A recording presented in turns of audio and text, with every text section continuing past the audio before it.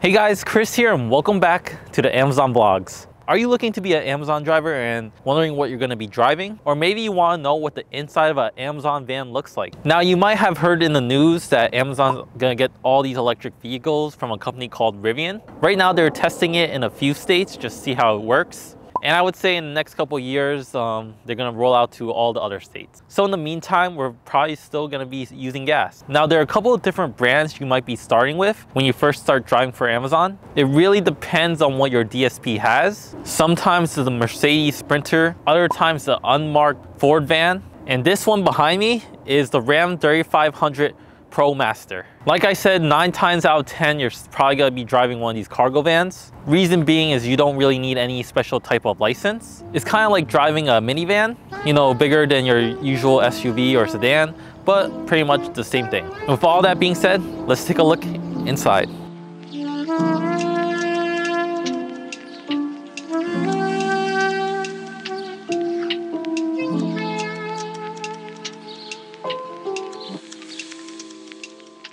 First, we're gonna take a look at the driver's seat. The seats are made of some sort of material that I really do like. On the left side is the handbrake. You pull it up when you're on a hill, down a hill, parking on a hill.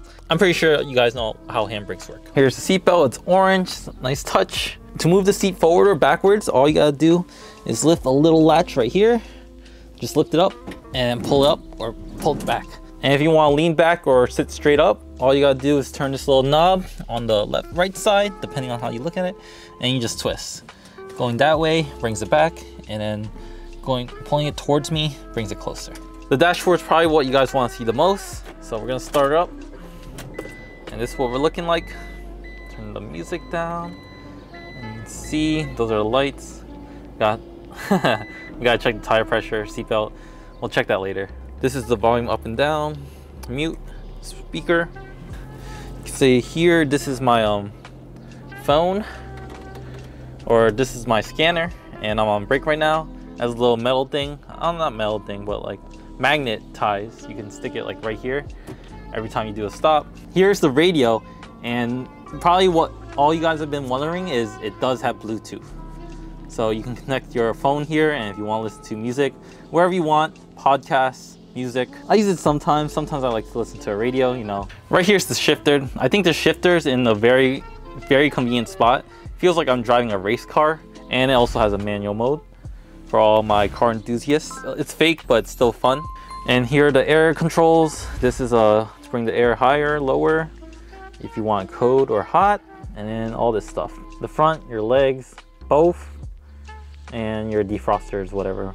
It also comes with USB and um, 12 volt. So if you need to charge your phone, got you.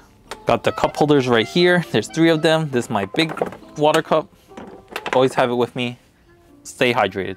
Here's my badge. And here's the driver daily checklist. I think this is kind of old because we don't use the Mentor app anymore because we have these AI cameras. Yeah, so these cameras have AI in them. It's kind of crazy anytime you're looking at your phone, it's gonna send um, your boss uh, like a 20 second clip of you using your phone. Anytime you're distracted, anytime you get close to um, other drivers, anytime you're speeding. So you gotta be careful of this bad boy.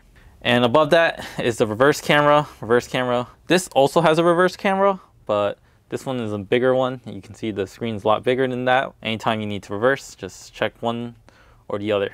All right, and this is what the back looks like. You know, there's probably like 10 feet of room. Here are the shelves. This one's rated 150 pounds, so don't even think about sitting on that or gonna break it. But if you're less than 200 pounds, feel free to uh, lie down if you're feeling a little tired. The packages here at Amazon, you don't really have to worry about the pounds. I'm pretty sure you can put as many totes as you want. Packages here at Amazon are very light. The shelves also do go up and down as you can see, you can just lift it up and it holds itself usually. I say usually because anytime you make a turn that's a little too fast but not that fast, shelves are gonna fall back down because they're, I don't know what they're held by, but they're really weak.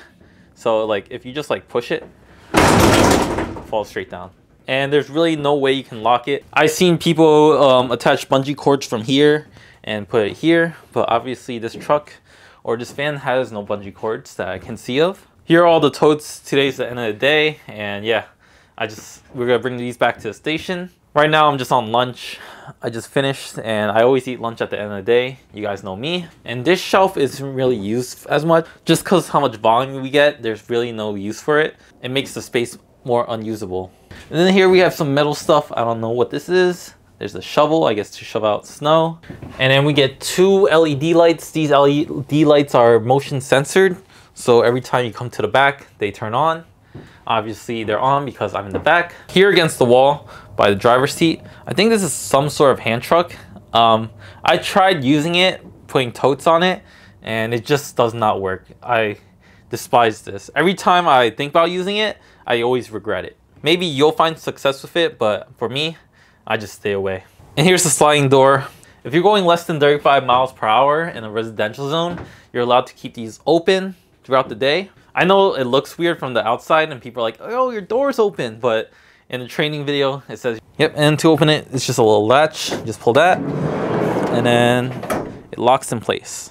I think the only way to close it is from pulling it from the outside and lifting it like that. Because otherwise, you can't pull it, you can't lift this.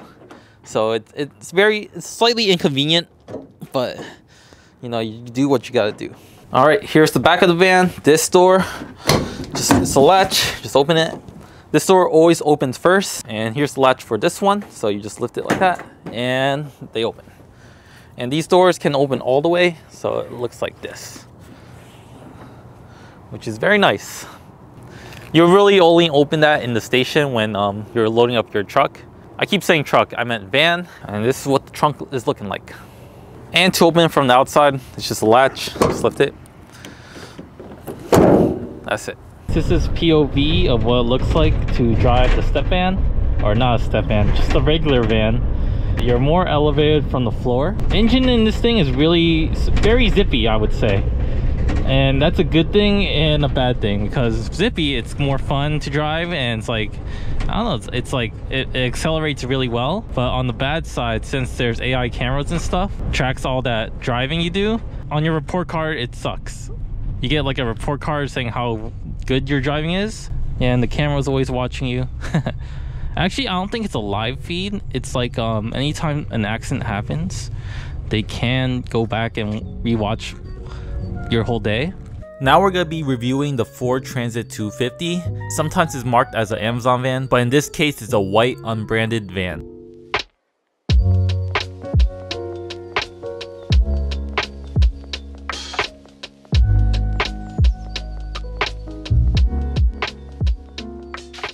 sometimes you're going to be driving a white van. Now there are a few reasons why you might be driving one. First reason is it's a new van and it has been branded to the Amazon Blue. Or number two, it's Christmas time and there's more packages that have to go out more than usual. And thus you need more trucks for those packages. So yeah, let's take a quick look inside of the white truck and see what it has to offer. As you can see, this is a Ford truck and this is the official booklet that comes with the truck. It's a 2020 Transit. So right now we're looking at the dashboard. This is what it looks like. This is gonna be your workspace for eight to 10 hours. On top of the dashboard, you can see that there's the USB outlet and um, the cigarette thing right here. Unique dashboard, I guess you can say. All right, so let's start it up. This is what it looks like when you start it up. Pretty simple stuff. You got your accelerometer and you got the mid looking thing, which has a menu Right now we're at the driver assist. I haven't used it yet. You have Bluetooth settings. You also got your buttons here to change the music, go back, volume up, volume down. Here's the radio. The radio is very important. I know what all you guys are thinking right now. Does it have Bluetooth?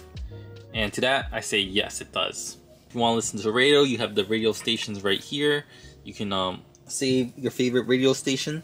Down here is the air conditioning. I don't really like this design. You can see it's the head. If you want your feet, turn on. In the middle again, 12 volt USB, and we got two, three cup holders, two and a half. Uh, they're kind of small. It's all right. Thing about the Transit, I just want to say that the center console, where it's right here, is very small. As you can see, every time I go in and out of the truck, my foot doesn't even fit sideways. So, so it, I'm always like jamming my foot here in the middle, trying to get to the back. When I'm coming in, I got the handrest in my way, I got the handbrake in my way, small center console.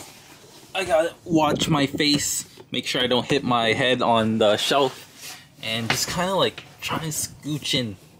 What the back looks like, um, I'm not sure if you guys gonna have shelves or not. This one doesn't have shelves. Sliding doors, I really like the sliding doors compared to the Ram. As you can see, it's like a whole switch. You can pull it like that, very simple. And if you want to close it, all you gotta do is lift it back down and shut it. And in the back is the same case. There's a little latch you can just pop open. And that, there you go. Another thing about the van is that they have windows in the back. So as you can see, back windows, side windows. Don't get me wrong, like it's bright back here, but when you have to use the bathroom, there's nowhere to go. You it's a little sketch, you know? The lights aren't really that good. We have one bulb right here, two bulbs back here, three and four. So if you're trying to deliver at night, you better deliver as much as you can in the morning because it's gonna get pitch black back here. And yeah, that's pretty much the end of the van tour. Um, I'm six foot, so if you're worried about hitting your head, I, I barely just like fit. You really have to go out of your way to hit your head, which I could, but usually like when I'm stepping down, I'm always like a little an inch or two lower. But I have hit my head in the back, so you just gotta be just a little careful. So I hope you guys enjoyed. Um, for all the new drivers, just stay safe, be alert. If you found this video helpful, make sure you give me a thumbs up, and I'll see you in the next one. All right, peace.